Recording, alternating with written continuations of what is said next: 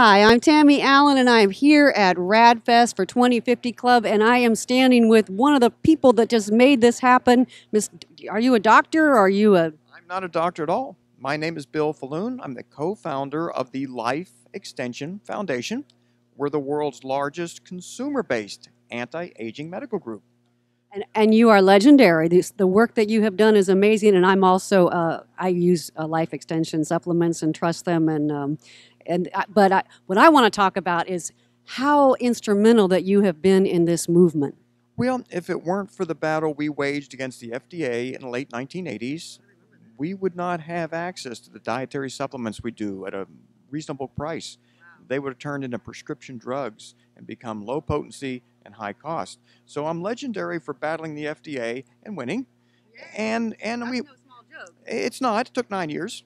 Nine years and a lot of money, a lot of time, but we won. And then also we have a track record. It goes back to 1981, where we were introducing therapies like DHEA. When I say introduced, we told people to buy it in Europe. We couldn't sell it. We said order it from Europe. Two of our members got arrested for importing it. We had to hire lawyers to get them out of jail. I mean, that's the kind of battles we've waged. Low dose aspirin. Uh, everyone with a heart condition nowadays takes it. FDA took 15 years to accept our position on low dose aspirin. We recommend that in 1983. And, And people just don't have any idea, really, the public in general, that these battles have gone on so that we can have uh, the luxuries that we have right now with supplements and health. But tell me now, here we are at RAADfest, and there's a lot of exciting things that are going on for our future. And we're all about sharing information with people so that they understand that they can relax, that they don't have to be in fear. And I just want you to talk a little bit about what they can expect in the next 10 years, 20 years. Well, here's the difference. If you go back to year 2013, if you really felt there was a possibility at some point in the future of aging being controlled, reversed, you were just fantasizing.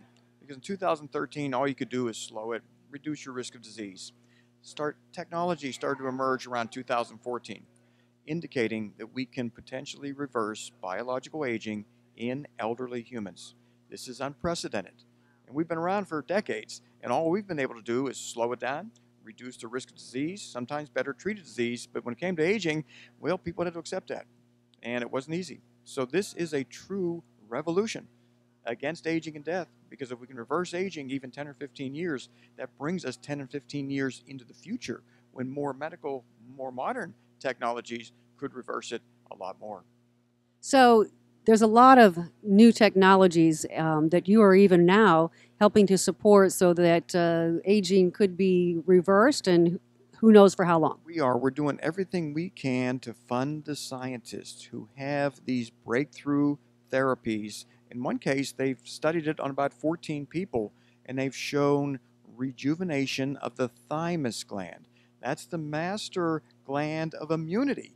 And older people, they have virtually no thymic activity. And we've figured out a way to regenerate the thymus gland in 14 people. And we've got another 14 people who are starting the second arm of the study. So that in of itself may add 20 to 30 years to a typical lifespan. So a person who would have died at 80 mm-hmm. might make it to well over 100. And be healthy. Oh, yeah. Have a, a youthful immune system because immune senescence, number one cause of death in older people. This is exciting. So, what would you recommend that people do right now as these technologies are being developed? But I mean, obviously, we have to take care of ourselves now. What they have to do is stay abreast of the latest developments. When we were recommending low dose aspirin in 1983, no one knew about it except people who read our magazine. They were using it to reduce their heart attack risk. We do have a magazine called Life Extension Magazine. Go to lef.org and you can read it online.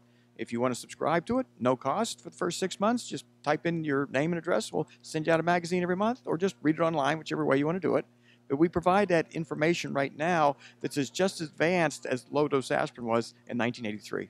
Well, I certainly thank you for the work and for putting on this, helping to put on this great um, festival and sharing so much information.